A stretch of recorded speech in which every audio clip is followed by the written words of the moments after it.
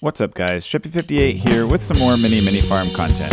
If you haven't noticed, it's a little bit challenging to complete your fishing collection and there's not very much instruction provided from the game for how to complete this. So I'm going to share a few basics in fishing in this video. If you've already completed your fish collection for a fishing hole, you don't need to go back and fish in that area.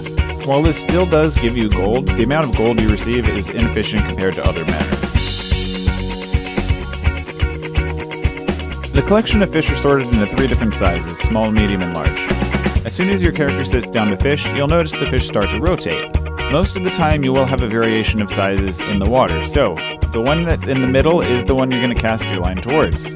If you're trying to get a larger fish, you want to wait until that fish is in the middle and then cast your line towards it.